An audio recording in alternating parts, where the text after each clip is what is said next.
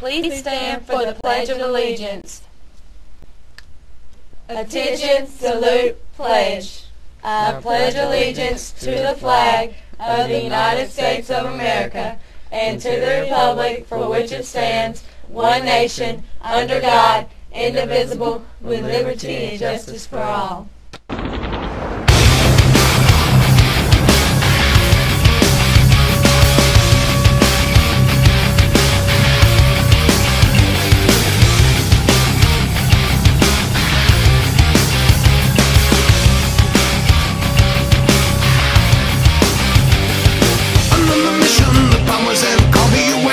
Good morning, Smith Station, and welcome to PNN. I'm Jay McGuire. And I'm Haley Peterson. First, here's today's lunch. Hi, my name is Jaron Stowe, and today's lunch is beef nuggets, rice, green peas, beans, fruit cocktail, rolls, and milk. And that's today's lunch. Now to Shelby with the weather. Good morning, Smith Station. I'm Shelby Nicholson here with the weather.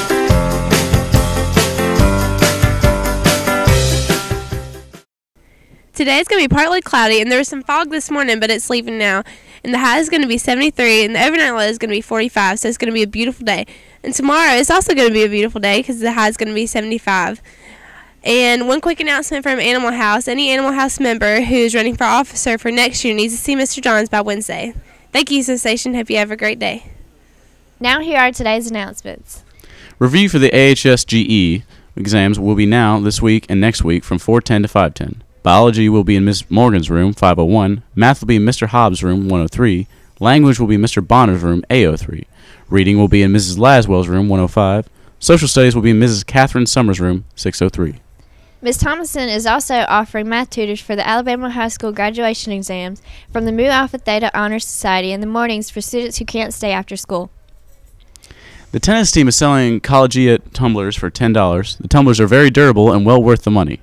There are Auburn, Alabama, and Georgia tumblers already on campus to be purchased. If you would like to purchase one, see a tennis player or go see Coach Barlow in room 602 or Coach Lee in room 208.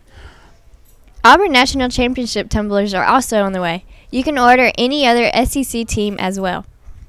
If you're going to Troy and you want to apply for one of the foundation scholarships, please see Mrs. Scott for an application. All scholarship applications must be put completed by March 31st. The SSHS FFA will be taking a trip to the National FFA Week presentation in Auburn on February 23rd. If you are a member of FFA and want to attend this trip, go to the Ag Science Department for a permission slip. Permission slips are due back on the 21st. The Columbus Alumni Chapter of Albany State is sponsoring a high school visitation day on February 26th. They'll be providing transportation, but you must have signed a permission slip. If you are interested in attending Albany State and would like to attend the visitation day, please see Mrs. Scott to sign up and get your permission slip. Any student with a disability who is pursuing a post secondary education can apply for the Chuck Sheehan Scholarship. It is a one time per year payment and is for all the classes. The deadline for the fall 2011 semester is May 1st. See Ms. Scott for details. And NHS members who signed up for the MLK Pride Cleanup Day must meet in the parking lot of the Smith Station Government Center before 9 a.m. Eastern Time. Make sure you take a service hour sheet and have it signed. There are many other service hour opportunities to sign up for, so check outside Mrs. Britton's door. Thank you, Smith Station. Have a great day.